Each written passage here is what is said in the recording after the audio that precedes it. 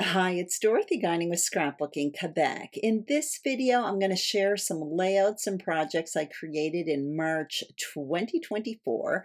The layouts I created for my power scrapping series will come in a later video, sometime in April.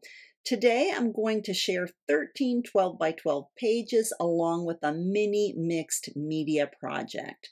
Before starting, I do want to mention a few things. There are process videos for some of these layouts, so they will be listed and linked below.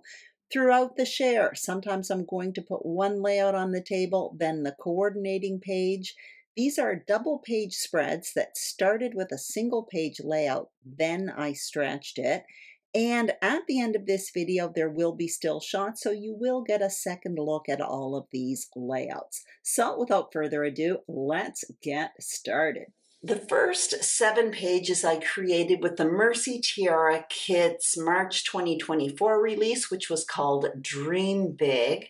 This kit included a few different new springy American Crafts collections, including Poppy and Pear, Cool Girl, and Rainbow Avenue.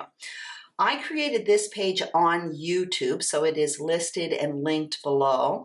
The papers here were mostly, I believe, from the Cool Girl, the Pebbles Cool Girl collection, but I definitely included embellishments from the two other collections. These three collections that were brought together in this one kit really coordinated very, very nicely together. It was a great, great sampling. Here is the coordinating page I created to go with it, a very simple four block grid. So I just brought over a piece of charcoal cardstock, added some of this bright, colorful purple floral paper here, and I created one embellishment cluster which created a visual triangle across the two pages. You can see them right here.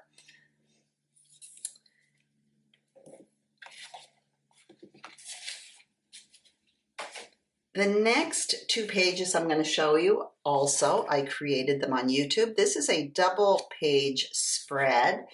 It was sketch inspired. I don't have the sketch beside me. It was a creative scrapper sketch that was exclusively created for the Mercy Tiara kits and what I did was I stretched it into a double page spread.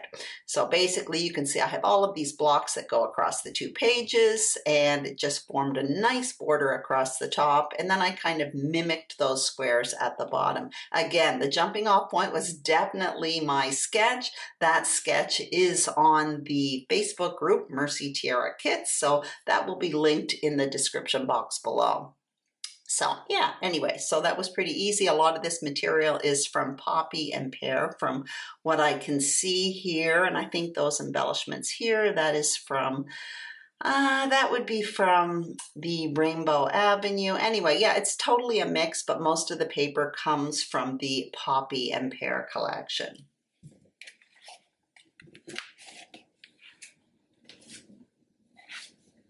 This one I just created it as a single page layout and this one I did do it on YouTube so that is listed and linked below as well.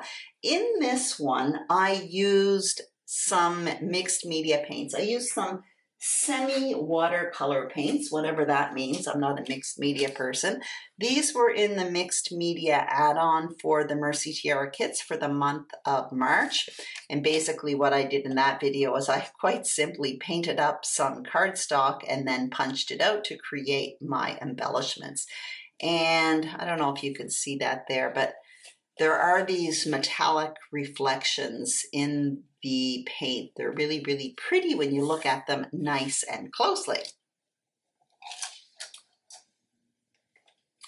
And finally, I created two more pages with the Mercy Tiara kits. I started with this one here. I created it as a single page layout. And yeah, pretty simple, just a border of photos and a border at the bottom.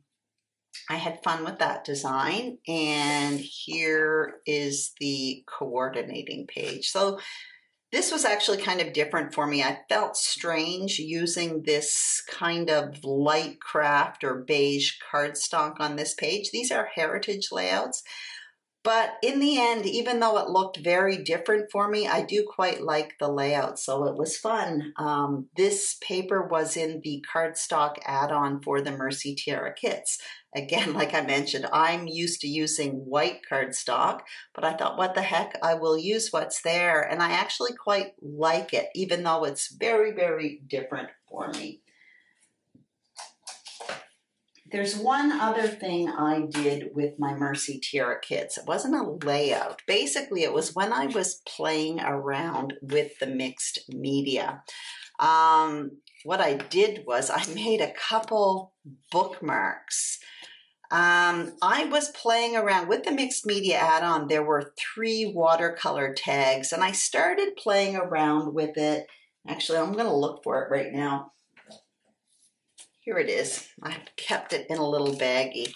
You can see I kind of stamped on it and painted and I didn't like the results, but I didn't want to waste them. So what I did was I started punching them out with punches and then I decided to create bookmarks for it. So I'm not a mixed media person, but every once in a while I definitely like to play in it. And even here, if you look closely at these tags, there is watercolors on them along with texture paste. That was something I had done last summer. Again, kind of playing around with mixed media. I'm not a mixed media person, but I do save my mixed media mistakes and I really quite like the results. So this is basically a combo of two mixed media mistakes.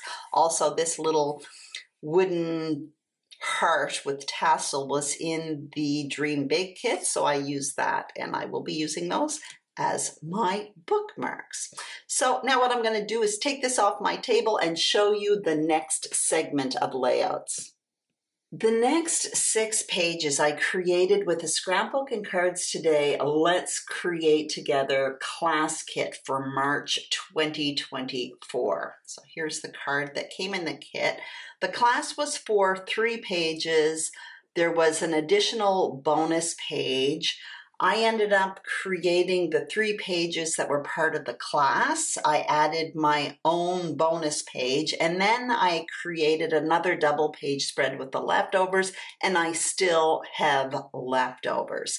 So this was for a double page spread that was part of the class if you did this, you may notice a few differences. However, I did stick pretty close to the page design.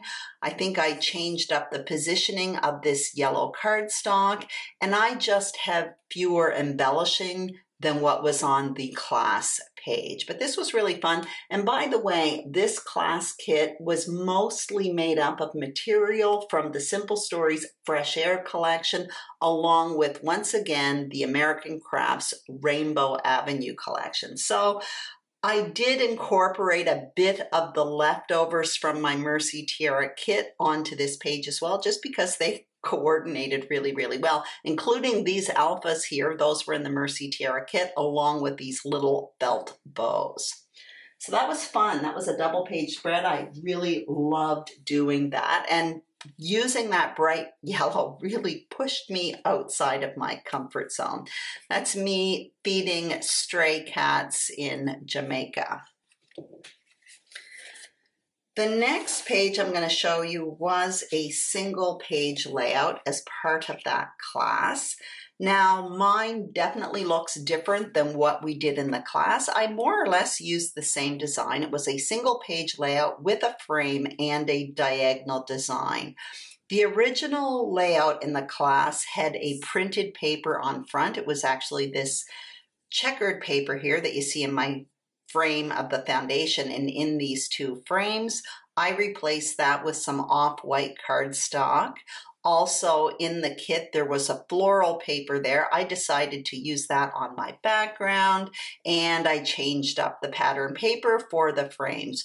But essentially, the class was definitely my jumping off point. The class had two triangles here. I did not put that. I'm a bit of a pattern paper wimp and I need a lot of white space. So I used the class as my jumping off point and then I just kind of went on my own basically. And here's the page I created to coordinate with it, which is something I frequently do a very simple line of photos, one embellishment cluster strategically placed to form a visual triangle across the two pages. So again, this is all material from the class kit. I think the only thing I brought in was this little tiny strip of pink paper from Simple Stories that I had in my stash.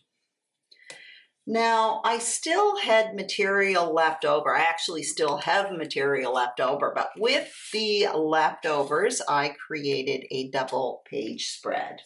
So this is kind of a classic double page spread for me where I create a mat that spans across the two pages. Then I create a shelf and place my photos on top of it. So yeah, what I Included from my own stash was the off-white cardstock and the green cardstock, but the rest, all of this pattern paper and the embellishments, that all came from the class kit. So yes, that is it for my layouts. Now, obviously, I have more layouts to show you. All of the pages I created for my mini series Power Scrapping, and that's going to come sometime in April. So here are the still shots. Tomorrow I will be back on YouTube with my scrappy kit and plans for April, and I'll be back the following day as well with the Mercy Tiara kit unboxing for Adventure Awaits. That's the name of the new April release. I hope you enjoyed this layout share. If you did, I'd greatly appreciate a thumbs up. If you haven't subscribed to my YouTube channel, Scrapbooking Quebec, I would be thrilled and honored if you did. And if you are a subscriber, thank you very, very much. Again, I'll be back tomorrow on YouTube. Have a great day, and hopefully I'll see you then. Bye-bye.